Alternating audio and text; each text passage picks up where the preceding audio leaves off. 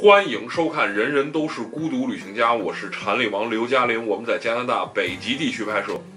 今天我们要钓鱼了啊！刚发那钓鱼，瞧那调戏狗鱼，这太有意思了。看我把那狗鱼逗成什么样，就是那个那不是钓不上来啊，就好多人到时候说我钓不上来。那纯属调戏。你看在之前那集我钓多少呢？给钓上来太容易了，因为我是那鱼没法吃，那刺儿太多了。当地人都知道，狗所有人那个 都是放。所有人问都问，哎，你们钓鱼去了？钓多少鱼啊？钓钓着鱼了吗？我说、嗯、没钓着鱼，然后那个就钓了两条狗鱼啊，买那蹦，对，这骨头太多了，不不喜欢吃鱼。出卖那蹦，基基本上都是这这么一个狗鱼的第二句的评价，基本上就第一句评价。第一句评价是个这样，是个米字脸。对，然后第二句评价 too many bone，so many bone，基本上都是这样。所以就是，呃，狗鱼基本上对我来说，呃，我们带游客去或者我自己玩，就我自己不钓狗鱼，我自己什么时候钓狗鱼，我就实在钓不上白鱼了。嗯，我实在钓不上白鱼，钓钓不上来抄它了。我开始用钓狗鱼的手法勾一条狗鱼过过瘾，然后基本上就这么一个态度，因为你对它是一损伤，你知都知道你不要它，你勾它干嘛呀？就经常都是把狗鱼给牵过来以后，你就慎会儿，就就像你看那视频里头，啪一蹬，让它出个水，然后就把漂那个钩给拿走，就是一乐呵嘛，总之就是当个乐。嗯，就是你玩什么东西吧，我觉得是这样，就是从今天我看见了一视频，嗯。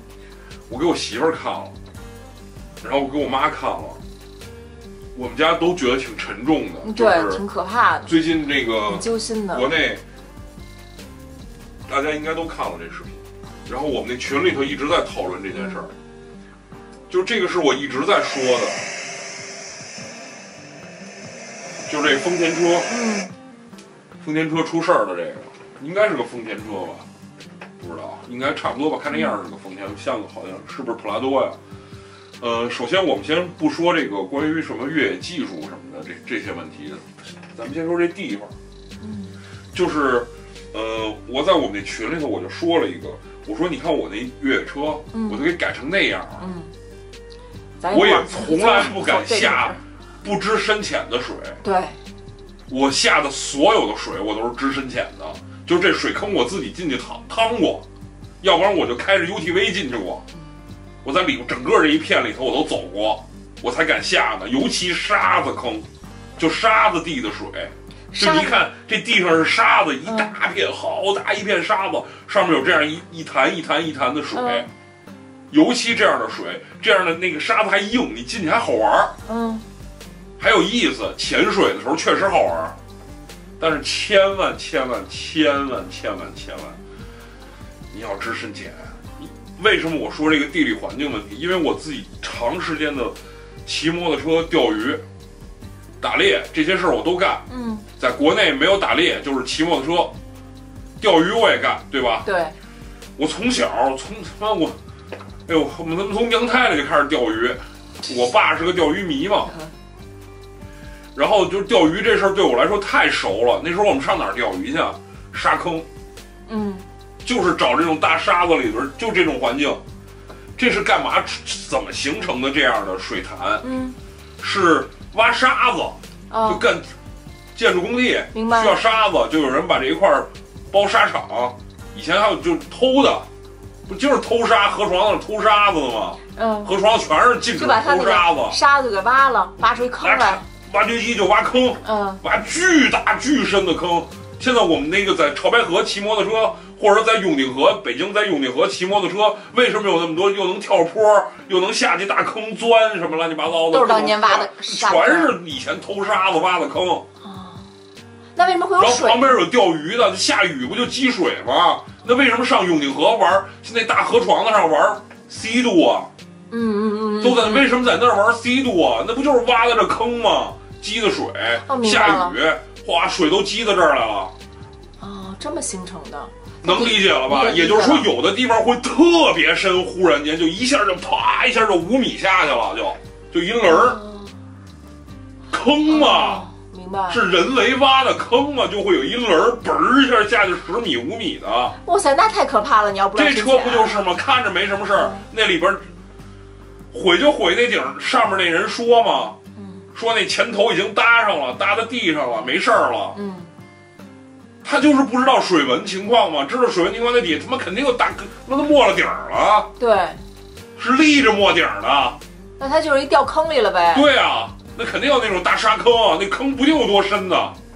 真可怕！是我跟你说，那种坑是不定有多深的。你就想偷沙子得有多，嗯，就是你偷沙子嘛，你都白来了。对，那肯定有多少来多少啊。对呀，赶紧挖挖一，恨不得一宿挖一十米的最牛逼，对吧？都是带轮儿的，嗯，他不会给你挖成一大坡。对。对吧？这不是自然形成的，这是第一，就是你在涉水的时候，你必要知深浅。嗯，如果不知深浅，千万别涉水。嗯。第二，马上就进入这个出去玩的季节了。嗯，就现在基本上就已经是出去玩的季节，我好多朋友都开始出去玩了，有的都玩玩回来了，都开始准备第二次了。所以就是已经进入这种季节了以后，就是你开车出去玩的时候，你出去前，你把车检查完了以后，你脑子里先过一遍，你那轮胎行吗？真的，真的，真的，我说的这可是血的教训，各种各样的教训，对我自己而言来说，各种各样的教训，我现在最重视的就是轮胎。这车哪怕不改装，轮胎必必须必须得牛逼，嗯，就是你的轮胎必须得牛逼。如所有的汽车出现意外，我觉得百分之八十都是因为轮胎引起的。是轮胎不适合走这个路况。对，就是轮胎跟这地方不匹配。嗯，你就像刚才就这车，嗯，这明显它那轮胎是个公路胎嘛，嗯，它在里头都刨成那德行了。你看那个坦克三百呱呱呱过去，那明显那坦克三百就是个他妈全地形胎嘛，至少至少是个全地形的。就是那种大豆大齿，对，大齿大嘛，费油。你出去玩就老老实实换一套费油的胎，回了家以后换上那公路胎，不费油的胎，在城里头普通跑，一出去就把这四条胎给换上，带着轮毂的胎也省事儿。对，你看我们家一直都这样，出去玩之前换上我那个大脚，大脚，就一下他妈多撒油，那我认了，安全啊。所以这个问题也是在于它的胎是吗？我看它一直在挠土倒倒倒，就没有乐趣吗？这不就跟你那回似的吗？一模一样吗？就我在那儿大喊：“停，别动了！”狂喊你，对吧？嗯，我那次也是在一沙滩，对吧？就还傻不愣登的往里头开呢，看着挺平的，沙子真可怕，下以后再也不敢了。就是真的，我跟你们说，就是。首先，首先你得先理解，就是越野这件事儿，不是说随便你拿个车就能越野。你那是个觉得是个 SUV。我跟你说，这这件事就跟电影一样，电影是把所有的枪炮这些东西拍小了。对他把它的威力减了好弱好弱，让轻视了。广告正好相反，把越野车的所有越野车的广告放大了，放大了，感觉你哪儿都能去。就我操，真的真的真的真的，尤其那他妈电动车。就我看过好多那个电动车、电动 SUV，嗯啊，大荒野都跑，不是疯了吗？不是抽风吃吃饱了撑的吧？真的真的真的，这他妈这不是吃吃饱了撑的吗？这不是他妈让你穿双皮鞋然后去打猎去是吗？这是毁人无数啊！不是，这不就是你他妈穿双皮鞋去打猎？你疯了吧你？就是那种三尖头皮鞋，穿着西服，然后去逼让你这样去打猎。燕尾服，然后你媳妇儿是那种大蓬蓬裙，婚纱那一套，结婚那一套，打猎去，太不是疯了吗？都是衣服，他妈都是车，就还是得什么车干什么事儿。真的，真的，真的，我觉得真的标准的一个状态，应该的一个状态就是你能达到你就做，你达不到你就别做。就是你开着你的越野车，后边拉个板儿。板儿上面装着一个超级越野车，然后你去越野去，你的营地什么的都在你的越野车上面装好了，后边拉一个超级越野车，停在 camp 地点，越野车能到到到的最边儿上，最边儿上的一个 camp 地点，把 camp 建立完完毕以后，媳妇儿、老婆什么什么媳妇儿、媳妇儿老婆还成，天天就做着梦呢，又是媳妇儿又是老婆。真，开心。就是这媳妇儿老妈个媳妇儿孩子，媳妇儿孩子，我我说孩子，我说就是媳妇儿孩子什么都安顿好了，把媳把媳妇儿往那副驾驶上一搁，戴好头盔啊，干进去，玩一圈回来，带好了卫星电话通讯设备，你能跟营地表保持联系，营地又能跟外边保持联系，建立通联，嗯，这是最基础的。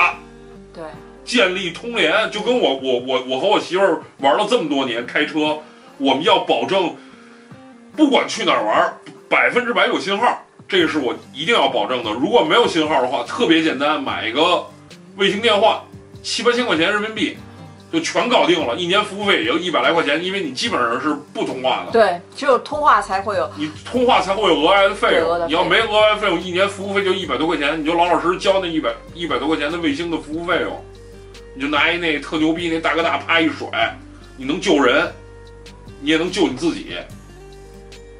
真的，真的，真的，我觉得就是你要常出去玩的人，就老老实实备一个卫星电话，这个东西简直太，太让人实用。我我我已经我已经遇到过很多很多很多问题，就是如果没有它，事儿大了，那事儿可真大了。因为你是跟外去失失联了。对对对，就是但是有它，就是这个问题就不那么大。就出事儿以后没有信号，你有他你就甭叫一人，半个小时以后这哥们儿来救你来了，暖暖和和回家了。没他，傻逼操那半个小时路你得自己走，对，得走。自己走他妈得走俩小时。这这不就就区别吗？对吧？对啊，所以我跟你们说，就是一定要想幺幺九、幺幺零、幺幺二这些东西没有用，在户外探险这件事儿上那什么最有没有用嗯，没有用。他们不能瞬间就来，他们没有随意门儿，他们没直升飞机，他们不能随瞬瞬间就出现了。你最有用的是你自己那颗脑子。啊？还是是想就你就好多人说这个不，就刚你说这个嘛，不会游泳还在水里玩儿，啊？这事儿跟游泳没关系啊，他哪知道那儿那么那么深啊？那坦克三百都那么就开过来了，从恨不得从河对岸，他哪知道那有那么深啊？他没那 sense，谁汽车里会装一个？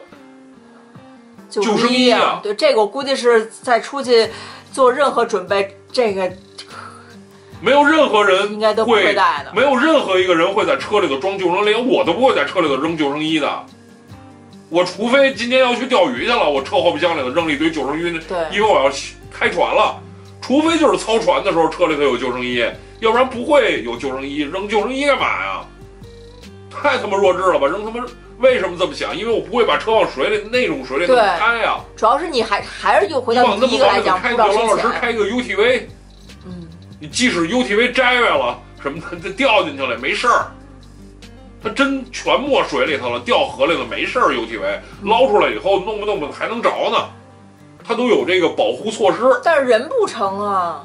对呀、就是人的这种遇险意识太那个什么了，真的，大家把我这集转出去吧，赶快转出去，就是太可怕了。就是在户外死，我真的不骗你们，就是一秒，啪，那人就死了，不是说还他妈能死五分钟，没有，五秒那人就死了，从活着到死五秒，这人没了，你就只能哇哇哭了，真的。我成天在他们这户外待着，我今天整个一个上午，我们都是在那种特可怕的。你们往上看上一集，上一集我钓鱼最后那点儿，啪扔完了以后，哒响了一声笛子，你看我和我媳妇儿马上就紧张了。对，因为它是雄敌。那个熊的那笛子响了，叭一声熊笛响了，没带枪，今天还、嗯因为是夏季禁猎期，嗯你带枪没什么意义，嗯，什么也打不了。还没带枪，当时我就紧张，你没、嗯没看见我，马上就紧张了，开始到处看，然后听愣了，然后就黑了画面了。当时实际上我们就上岸了，就走了，去那边看到底怎么着了，嗯，是不是真的有熊？因为熊笛响了嘛。对，大家都知道那是什么警告的声音。对啊，而且还有小孩儿的声音，嗯，我们听到了小孩儿的声音和熊笛的声音，所以得去确认一下怎么着了。因为真的户外就说没就没了，你掉河里头说淹死就淹死了，那淹死都会水的，不是不会水的，不是你说你会水的你就淹不死，对。那好多人还说这个救援不及时。这跟救援及时还有毛用？咱们就是我在那儿，嗯，咱们的车营地车，我的车在那儿，我在这儿出现的情况，我觉得跟这个现场一模一模一样，没有什么太大的不一样。嗯，我觉得他们还挺牛逼的，最后还能拿出俩救生衣来，还挺牛逼的，啊，还拿起码还真拿出人来俩救生衣呢，嗯，这这这就算算牛逼的了，这个。真的，我觉得没什么会，没有什么太大的区别，因为当时看到那个情况就是，赶快拿绞盘嗯，对呀、可把然后它拖上来嘛。钩子给勾，只要能勾住那辆车，这车就不会跑了吧？嗯，那人也就能还对，人就没事儿嘛。但谁知道那儿有个坑啊？你明显那车一下就滑下去了。然后就滑到坑往嗯，就滑向坑了嘛，然后就滑到坑里边去了吧？那明显就是那车穿出来往水里走，砰，前头就凉，嗯，轱辘掉坑里了，这么搭上了，然后起来，起来，起来，起来，对，就顺进坑里了，顺进那挖的那铲机挖的那大坑，沙坑，真可怕，这道这有沙地坑。就明显就是这样，你那车都不在不在原位了，在捞那车的时候肯定不在原位，嗯嗯它那车可能就进去了，随着水流是不是就不是水流，就是它就慢慢往下滑嘛，嗯它重力，哦明白随着重力，它那轱辘也能转，它主要是，它就进去了就给，拖进去了。就就进去了，不是拖进去，它自己就开进去了，就滑进去了，往坑的最深处就滑进去了，那车就往里头滑了，遇着个石头可能一撞就停了，没有就继续往里滑。你你你你知道这事儿有多可怕了吧？就为什么在冰上我都那么小心开车什么的，就各种探什么的，恨不得都最后一个下冰，我恨不得都是。嗯，就为什么这样？就每年我们都我们公司都恨不得为了少挣钱，都比别人晚半个月吧下冰。就政府说了，政府说可以了，我自己至少走个对，就全。都走完，嗯，我都看完了以后我才敢带客人走，要不然真挺吓人的。因为有有时候你开的时候都嘎啦嘎啦响，就咣咣咣那冰在那儿响，挺吓人的。你那客人你不是说你老吓唬他就能挣着钱，你得让他觉得安全啊。偶尔你在后边啪抓一下他，哎熊来了，你吓唬他就是完了。但是你在知道安全的情况下。对对对对对。所以就是真的真的真的真的，马上就是所有人都开始出去玩的季节了。就是我也不说你开车需要准备什么，你你具体你不需要准备什么救生衣什么的，这是不需要的。我觉得你就别去这种地儿玩儿就成了。对对对，你不需要把那车里头放一救生衣，真的是不需要的。我没觉得车里头是需要放救生衣的，就是你千万别下水就行了，就尽量别下水，下水知深浅，知深浅。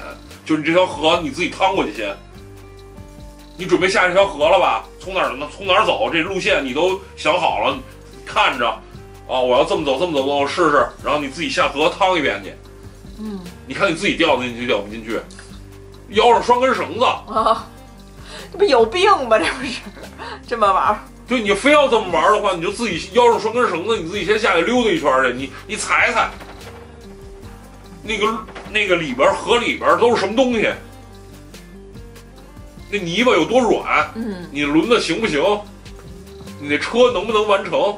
你把整个路线先走一遍，连他妈打卡的人都他妈自己走一遍，你凭什么不走一遍啊？对呀、什么都不知道就往里下。不是，就是经常我我最后就我就说嘛，就经常我说我媳妇儿就这么一一事儿，嗯就我发现你们经常这么，就是特别不尊重专业，就 pro 这件事情，就经常你就老犯这问题，就不尊重 pro 这件事儿，就是上来你就敢干，上来我就觉得我能干。对，上来你就觉得你特行，没问题，就好几回就是遇到这种事儿，就特吓人。真的，真的，好多人都是有这种问题，就上来觉得自己就特他妈专业，看两天电视就觉得自己特专业了看了就会了。啊。但是你知道这事儿有多难的吗？嗯就跟这么深的河里头开车这件事儿，以前就是在九十年代，我那时候看的最早开始看的越野车视频，就这种叫开幕之旅，嗯，就是骆驼牌香烟知道和路虎合作，啊，所有的那个路虎 Defender 上边嗯有一骆骆驼驼开门的那么一标，然后世界之旅。下大河什么的，那都都是专业 ranger。我就是看着那种电电视起来的，起来开始准备玩越野，看着唐老师什么的准备开始玩越野的。唐老师实际上也被那种东西开门之旅那种东西洗脑，专业，对，就你所有东西都要试。过河之前恨不得先拿一车绞盘，一个人拴着大绳子腰上，拿着绞盘先趟这河，趟过河，把这绞盘咵勾到那边的树上，嗯，哦，这样是最安全的是，先旁边建立一条这样的一条大的一条绞盘的一条一条带，先把这条带给建立好以后拦着，嗯拦好绞盘以后，拦好这么一条钢缆，一辆车一辆车再过，嗯，出问题的话，这绞盘能把车兜住，嗯你知道河被冲对对冲了以后能兜住，这小溪冲走车的时候能兜住它这绞盘。起码不会失控啊。对，就他们都恨不得这样，整个车队车队这人还是车队出行的啊，人都这么这么小心，所有一切都是要，哦，这是要这么过头车都要归哦这么多多一步一步，一共七步就能从这儿过去了。台子里喊，告诉大家怎么怎么怎么怎么用这七步就过去了。嗯，没有人会故意的会哐冲进一个未知水水域、未知地区、未知越野越野的状态的环境，没有一个人会干这种事情。干这种事情就是二傻子。